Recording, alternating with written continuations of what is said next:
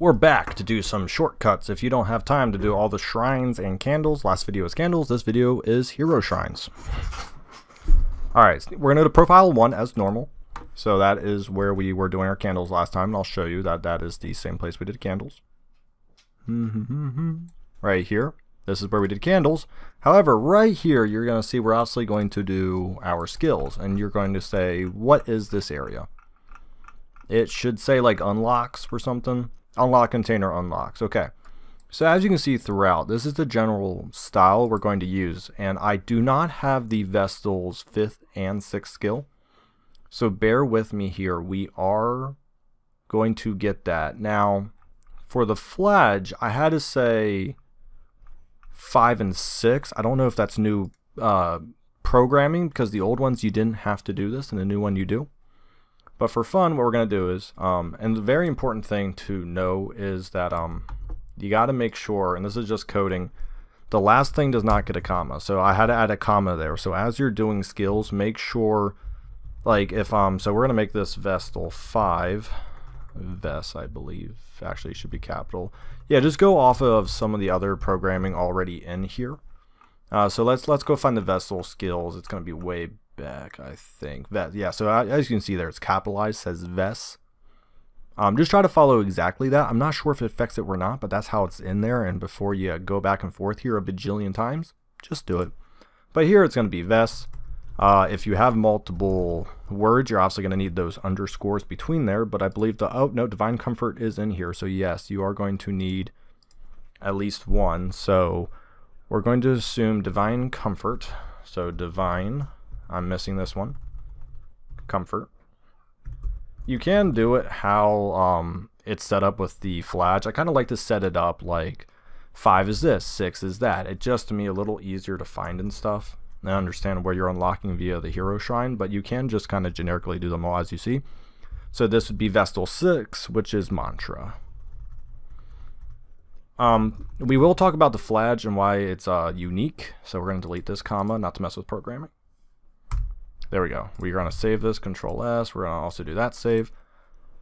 Um, so Reclaim is undying in this game, and Exsanguinate is nec not necrosis. It's sepsis, I think. Yeah. I don't know why they kept names from the first game, especially Reclaim. Let me quickly look up in the wiki. Wasn't Reclaim the heal over time one? And I think in this game it's Redeem. Maybe I have that backwards. I haven't really looked at the skills yet. But um, it might be more reclaim. Ah, re regardless, let me just I have my history open. Hold on.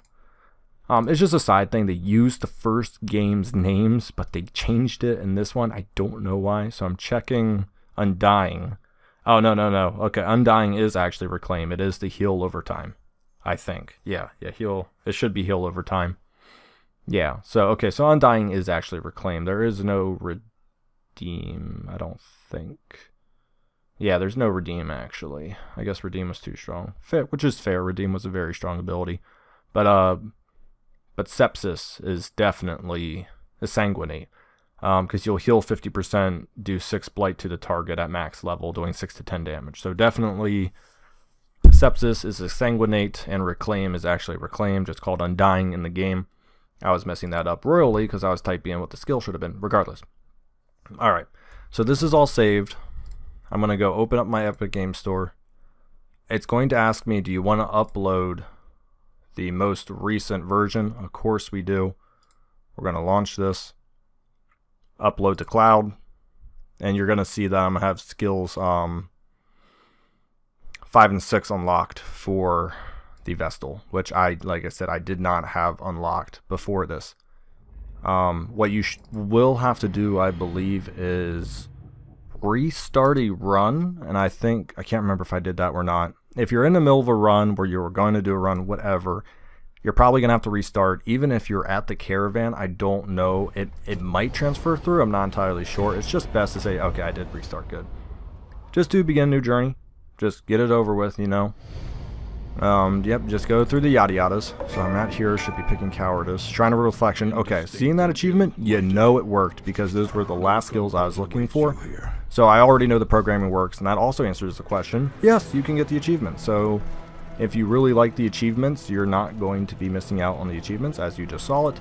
Also, I don't know if people know this, uh, if you just smash escape and the spacebar, it will skip after the first line of dialogue. You probably know that, but I know some people said it's really annoying going through the intro area. I just mash space, spacebar and escape, anything to make the game move a little faster. And we're going to go check out the Vestal now. Uh, paths, no not path skills, boom, we have it, Divine Comfort, heal all for 2, show upgraded, heal all for 3. Cooldown for 4 turns, holy sh... Holy sh... That's, wow.